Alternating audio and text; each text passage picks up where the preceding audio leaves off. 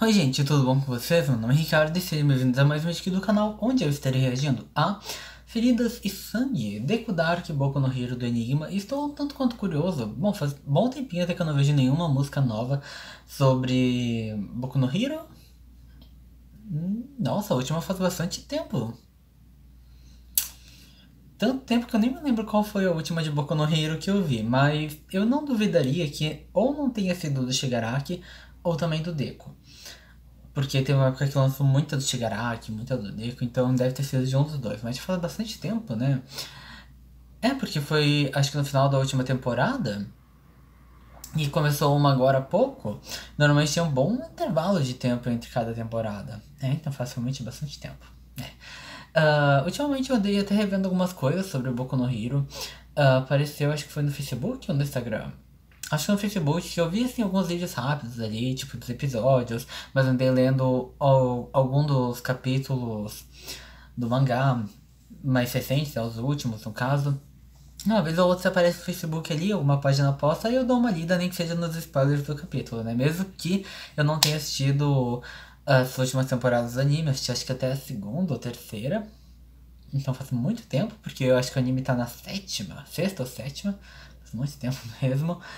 E também não li o mangá, né? Tudo que eu sei, tirando do início do anime, é pelas músicas. Eu acho que eu assisti até que ponto, que ponto... Eu lembro do acampamento, mas isso também era lá no início. O que teve depois do acampamento? Ah, que eles foram ter a, o negócio provisório, tipo uma carta provisória pra agir como heróis. Eu acho que foi a última coisa que eu vi em anime. Ou um pouquinho vinho depois. Acho que depois disso já não vi mais nada. Uh, mas quero dizer que apesar de fazer bastante tempo que eu não chego a realmente ver algo sobre Boku no Hero, vendo uma coisinha aqui, um videozinho rápido aqui, um spoiler dos últimos capítulos ali, eu acho que até lembro de mais ou menos bastante coisa, assim, né? Desde que faça bastante tempo que eu não tenho um real contato com a obra título Feridas de Sangue é um, um, algo que me chama atenção. Porque uh, já escutei várias músicas dessa versão do Deco, desse momento mais sombrio que o personagem teve, e eu não consigo me lembrar se realmente tinha algo que pudesse relacionar esse título, tipo ferida de sangue, ou algum grande machucado, ou ele machucando alguém, ou eles machucando, ou se machucando eu conseguiria interpretar, talvez, ao lado de feridas do título, se fosse algo mais emocional, já que o final desse momento do personagem acaba com toda a turma ali meio que demonstrando apoio, né? No caso, ajudando a, a curar aquela ferida, vamos dizer assim. Mas ainda assim, não, não me lembro assim, de algo que eu conseguiria interpretar o outro lado do título, né? Isso é hum, Não sei. Vamos escutar a música e talvez eu relembre de algo relembra alguma informação assim que me ajude a compreender de fato o título, porque eu não me lembro mesmo assim tanta de, de algo assim específico que me faça pensar não, ah, aconteceu isso naquela vez com o personagem, faz sentido. Hum. Hum. Bom, a não ser que talvez seja uma música que fale sobre essa fase do Deco, uma série de sangue seja para talvez falar sobre todo o caminho dele, sobre todas essas feridas, todo o sangue derramado, todas essas lutas que ele lutou, feridas tanto físicas quanto emocionais. Podia ser. É, podia ser algo que acabasse focando neste ponto do personagem específico, mas que trouxesse um pouco de coisas que ele já passou. Não acho que seja uma ideia ruim. Não sei, mas vamos descobrir. Vou ligar a legenda e... E veremos a música. Acho que por enquanto eu não tenho mais nada a comentar. Certo? Só vou botar o fone, que eu deveria ter botado antes enquanto eu falava, mas... Enfim. Veremos então. Se não tiver legenda, eu desligo. Certo? Mas é porque ela não tá ligada automaticamente, eu liguei, sei lá, às vezes o YouTube dá uma bugada. Uma sociedade de heróis e vilões, onde heróis sempre vencerão. Dessa vez eles que perderão, os papéis aqui se inverterão. Na cidade destruição, heróis caçados por vilões. Agora fora das prisões, e o líder deles quer o meu poder tomar. Meus amigos da UA, por favor, leiam essa carta. A moral é algo que em geração se passa. Jamais eu recebi agora all for one me. Nossa, o pescoço era que All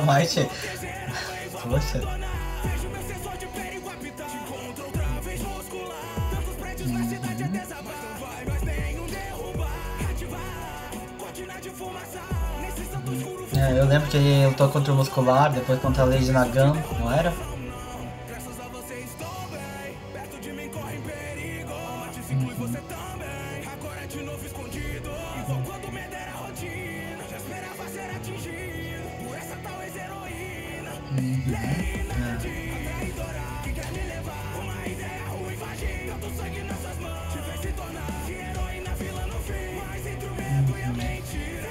Lado da justiça. E seu contrato se quebra.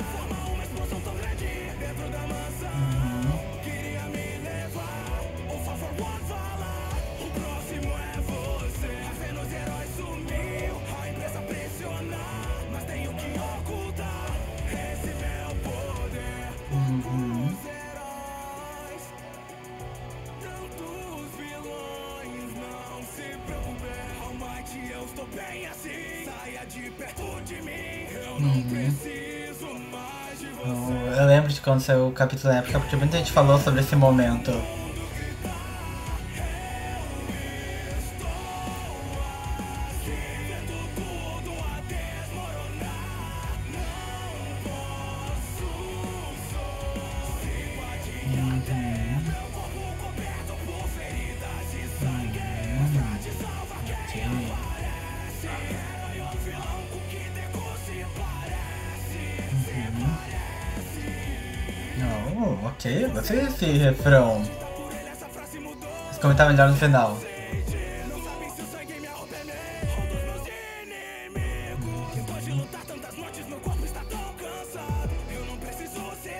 Amigos querem estar do meu lado.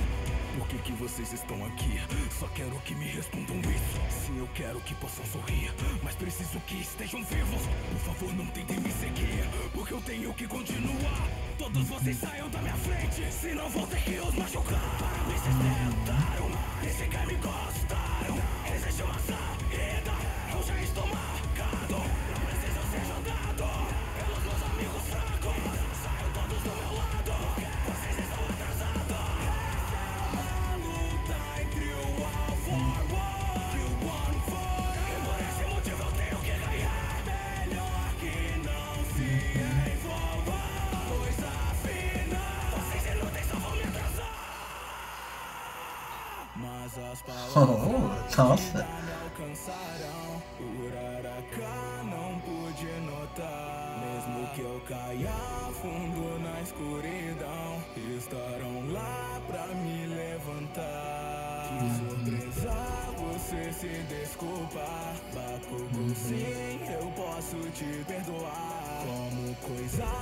Assim fui falar, me atrapalhar, poderiam me desculpar.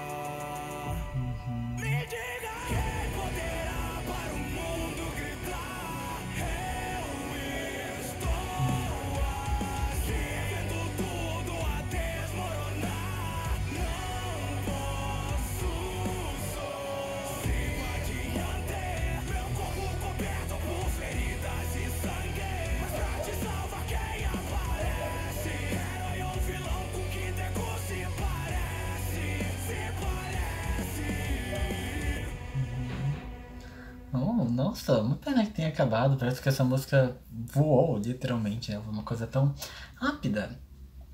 Que é uma pena. Nossa, eu gosto tanto desse refrão quando ele vai falar ali sobre, tipo, quem queria dizer, né? Eu estou aqui. Nossa, uma coisa tão marcante pro refrão, ainda mais quando a gente entende um, pelo menos um pouco do contexto da, sobre essa questão de estar lá, né? Nem de estar lá, mas dessa frase específica, eu estou aqui, de dentro da obra, que era o que o Almighty falava, era o que inspirava o Deco, era aquele vídeo, né? De ver o Almighty falando para não se preocuparem, porque o Almighty estava lá. Então, aqui no refrão do Mando Como Saiu, extremamente marcante. Não apenas como música, mas como eu falei, quando a gente entende o contexto da frase, fica algo, tipo, muito, mas muito mais legal. Ah, e depois ele fala, né, ali no, no refrão também fala o título, Feridas de Sangue. É, compreensível. Uh, ele até falou em um momento que não sabiam ali se o sangue que ele tinha era dele ou dos inimigos, então. Assim, né, pra dar uma interpretada.